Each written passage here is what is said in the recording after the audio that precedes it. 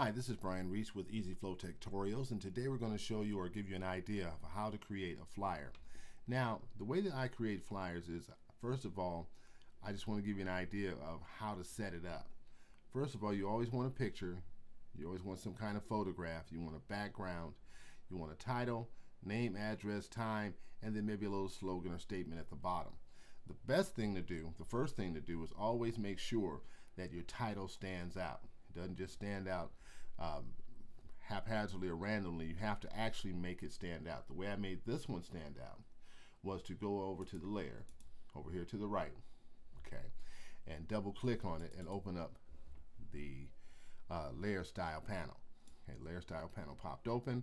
I put a stroke around it. Okay, you can adjust it here just by simply clicking on stroke. In order to open up these panels, you actually have to click on the word or on the panel itself, the, the, the uh, layer itself, to open it. We have the layer size, excuse me, the size and structure of the stroke. We also have the color, okay, right here, the color. Go ahead and click on that. You can change it to whatever you like. And also, you can change it to normal and the different kind of blend modes. Right now, just leaving it normal. Right now, I'm just going to leave it at normal. Okay, so we have it at normal. You go down and put an outer glow around it. As you see here, there's an outer glow around it. See, when I click it off, the glow disappears. Click it on, the glow comes right back. Okay, great. So go ahead and click OK. I'm clicking cancel because I've already done that. And then what I did was I created a background. It's good to have a background behind your photograph. So I created a background and I did that like this. I went on and pulled in a random picture. Not a random picture. A picture I actually is random for me, but you don't want to just do a random one. You want to find one that works for you. And we'll go ahead and back that up so I can show you exactly what I did. Oops, sorry. I can back that up put everything back in. Let's do it backwards. Okay, now, it's an easier way to do that, but I just did it that way. Um, and I want all this black background to come out. How do I do that? Glad you asked the question. The way I do that is by going up to select and color range. Okay, I want to choose a color range that I want to delete. So go ahead and choose color range and then it pops up with this panel. Okay, the color range panel. I don't want the color to disappear. I want the black background to disappear. So I click in the furthest, darkest area region of it, of the picture, and I go ahead and click OK. Now, you see that it selected everything. The way you delete all of that is, of course, by pressing the delete button on your keyboard. Okay? You go back up to select and deselect. All right, there we go. Now, you go up to the drag tool. I call it the drag tool and you drag it into your photograph. Now I've dragged it into my photograph and I placed it in the background. I'll go ahead and turn off all these other layers for the moment.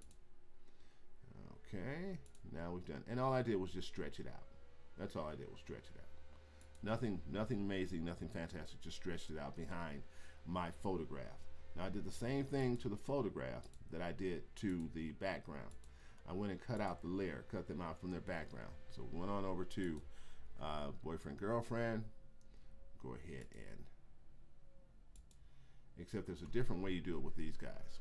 Okay, so go ahead and delete that. One. Okay, the way you do it is this. Open it up, and you go over here to the quick selection tool. Okay, want to make sure that it's on plus, and then you begin to drag it around the edges of the portion of the program project that you want to cut out. But a lot of times if it goes all the way down to the bottom like this one, you're going to have to just go all the way around, okay? You want it to connect. Okay, there we go. Now, once you've done that, you want to take the plus key and you want to drag it around the head and try to get it all lined up. Okay, there we go. Get rid of all the unnecessary excess things. Sometimes you will make this mistake. So go ahead and click negative key and it'll actually push everything around the hat and everything else. Okay, so it looks pretty good. We're not going to cut out this part here.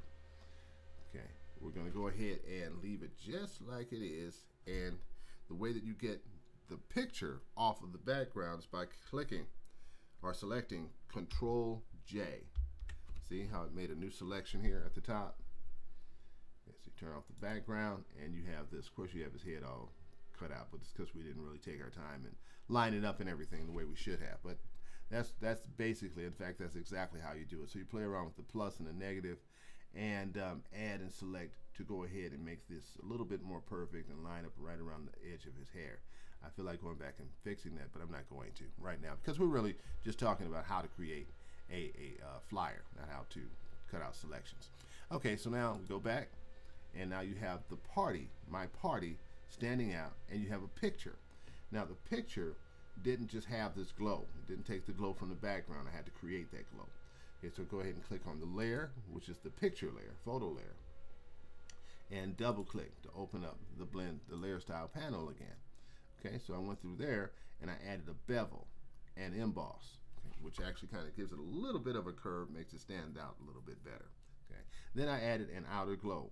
Go ahead and click on outer glow, and you can adjust it and change it here. Uh, the, the opacity, the noise, the spread, the size, and all of that. And play around with that a little bit so you can see how it looks good to you. Okay, so you click OK, but I'm clicking cancel because I've already done that. Then you want to make sure that on your flyer that you have the name, address, and time. So you go ahead and click uh, excuse me, text tool. Go ahead and spread it out like that, and just begin to type in the information that you want to type. Okay, name, address, phone number, and that kind of thing. We're going to go ahead and click the do not save it. And then you can also put a little selection on the bottom. The way I did this was I highlighted it, okay, went up to here where it says the word for the color, change the color. Click on it and you pull up the color, color picker or color selection tool. Okay, and when you come off of the color picker, it also gives you this eyedropper, which means that you can go anywhere and select any color on here and it'll show up. So watch, watch as I select. Okay, Change it to purple, changed it to white or really, really light blue, uh, it to purple again, you know, even uh, some beige pink color there. So uh, you pretty, pretty much go on the screen because you want to add color that's in there so that all looks kind of, uh, so it kind of comes together pretty nicely. And you go ahead and click her hat again. Go ahead and click OK, and the words become the same color as her hat. Okay, so it kind of makes the hat stand out a little bit. So that's how you do it. That's how you begin to do it. This is not to show you how they are all done, but this is how you can do this particular kind. If you're doing a party flyer or something like that, then uh, this is an, an amazing way to do it and it's fun. Just go ahead and play with it, enjoy it, and it will bring good results for you. All right, thank you very much for listening to this tutorial. Please like my page and subscribe. There will be many, many more tutorials to come, and you have a great day. This is Brian Reese with Easy Flow Tech Tutorials. Have a great day. Bye-bye.